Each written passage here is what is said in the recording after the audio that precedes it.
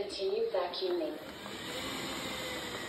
Vacuuming motor malfunction. Please open the top cover of the robot and press the power button to restart.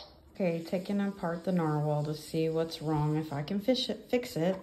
Clearly this isn't a, the issue. I'm thinking maybe it's just clogged with muddy water from mopping, but I will unplug this for a little bit to maybe restart it. I found this filter that is not accessible unless you take it apart, covered in dirt, came out over here. There's nothing obstructing it. The filter was just really dirty. Wonder why they never told us to check on that filter. You can't access it without taking off the entire robot. See the vent? There's no screws there to easily access that.